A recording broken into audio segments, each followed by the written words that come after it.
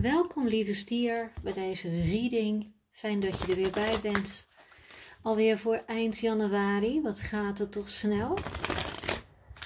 Allereerst wil ik jullie bedanken voor de vele likes, jullie steun op dit kanaal, de vele liefdevolle warme berichten, de vele nieuwe abonnees, de donaties, de vele verzoeken voor privé-reading, coaching, begeleiding, rijke healingen. Dank je wel daarvoor.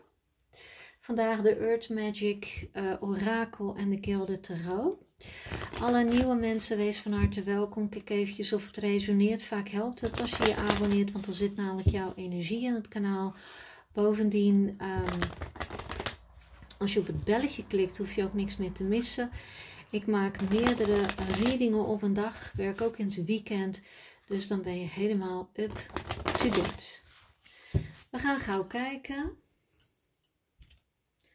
Hoeveel kaarten, spirits? Drie hoor ik.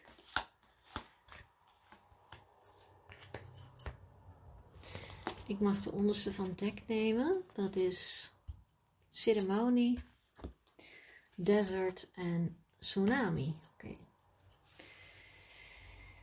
Ik heb het gevoel dat iemand in een impasse zit of er zit een connectie in een impasse. Het is droog, het is door, uh, harde stenen. Um, misschien gebrek aan visie, hoe verder te gaan. Maar um, daar komt een verandering in. Er komt namelijk een wake-up call. Kan zijn overvloed van emoties. Kan zijn dat je wakker geschud wordt tijdens een droom midden in de nacht. Omdat jouw voorouders jou uh, tot jou willen doordringen. Het kan zijn, het kan van alles eigenlijk zijn. Kan, dit is ook eigenlijk een torenmoment. Maar ik zie een hele donkere, hoge golf. Dus het heeft wel met emoties te maken. Ik heb het gevoel um, dat een van beide of beide uh, goed is in het manifesteren manifesteren middels eh, kristallen, gedachten, um, dingen goed kan uh, transformeren. Dus het kan goed zijn um, dat iemand uh, dit gemanifesteerd heeft, of dat jullie dat beide gemanifesteerd hebben. Het kan ook zijn dat jullie gewoon een speciaal um, speciale connectie hebben en dat het meant to be is en dat je een handje wordt geholpen door het universum of het goddelijke om bijeen te komen. Wat is de gezamenlijke, gezamenlijke energie tussen de stier en zijn of haar persoon? Wat is de energie van de stier? Wat is de energie van de ander? Wat is de einduitkomst?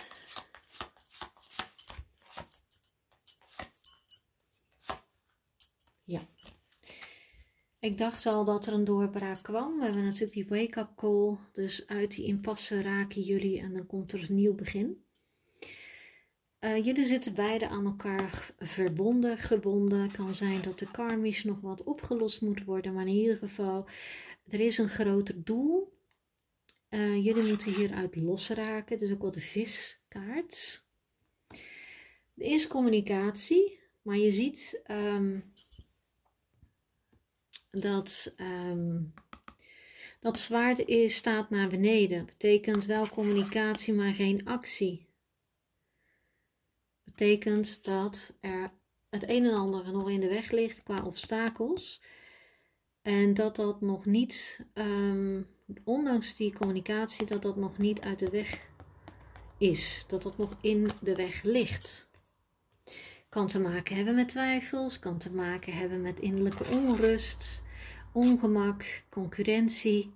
Maar in ieder geval, eh, lieve stier, jij uh, staat nog niet open voor uh, de communicatie met deze persoon. Het kan zijn een luchtteken, dus dat kan zijn een tweeling, een weegschaal of een waterman. Een vis zie ik vooralsnog. De ander heeft heel veel spijt. Hij probeert dat tijdens communicatie op een subtiele manier naar voren te brengen. Wil zichzelf niet opdringen, maar uh, hoopt wel dat uh, jullie verder kunnen met elkaar. dat jullie uit die impasse komen. Maar jij bent degene die uh, geen water bij de wijn wil doen.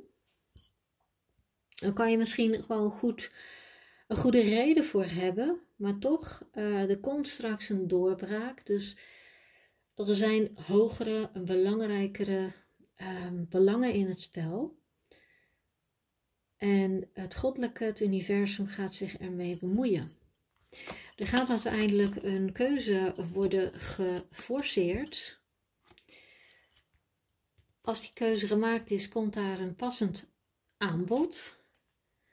En dan kan er een nieuwe start ontstaan in de liefde.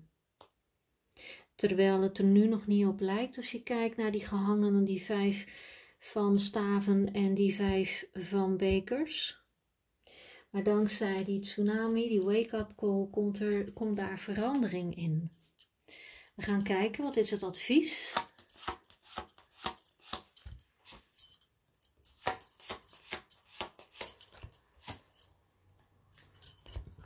Het advies is je hart te openen. Um, dus niet in die weerstand, maar je hart te openen toch ehm, terug vertrouwen te krijgen in de ander. De ander heeft oprecht spijt. Um, als je je hart opent, dan kan er een, uh, dan kan er een nieuw uh, begin komen in contact. Dat, er dus, uh, dat het dus niet meer eenrichtingsverkeer is qua communicatie, maar dat er naar elkaar geluisterd wordt, dat er voor elkaar opengestaan wordt, dat er opnieuw dus uh, een band ontstaan kan worden en dat er ook vertrouwen kan groeien. En uiteindelijk kan daar dan ook een start in de liefde worden gemaakt. Maar op dit moment zit de hele boel vast, omdat er één, het heel, uh, één probeert het die heeft zijn of haar excuses, zijn spijt al betuigd. Maar de ander die staat er niet voor open. Maar die wake-up call gaat ervoor zorgen dat er toch een keuze gaat worden gemaakt. En dat er toch nog een kans komt in de liefde. Mooi. Het kan zijn dat je te maken hebt met een vis dus veel gevoelens, misschien daarom ook zo'n grote golf hier. Uh, zwart, dus misschien Dark Night of the Soul. Uh, misschien zit je te veel in het hoofd, want ik zie hier zwaarden, ik zie hier zwaarden. Je wil je hart beschermen, je bent misschien heel veel pijn gedaan, dat kan. Maar goed, op een gegeven moment moet je ook zover zijn dat je dat je jezelf durft open te stellen, dat je jezelf weer kwetsbaar durft, dat je hart weer durft te openen. Je krijgt ook misschien wel healing, maar ehm, op een gegeven moment uh, krijg jij gewoon die, ja, die wake-up call. Je moet gewoon uh, keuze gaan maken. Um, in dit geval, meestal is het natuurlijk zo dat je je eigen keuze kunt maken, maar in dit geval niet. Je hebt een groter, een hoger doel te dienen. En dan gaat het universum, het goddelijke, gaat zich ermee bemoeien.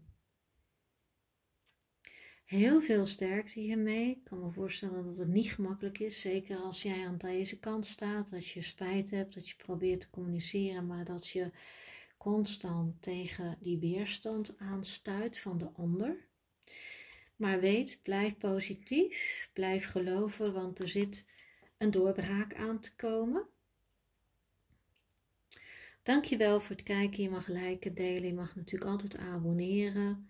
Als je wil kan je contact opnemen voor een persoonlijke reading. Als je zegt dit is mijn verhaal, ik wil de verdieping in.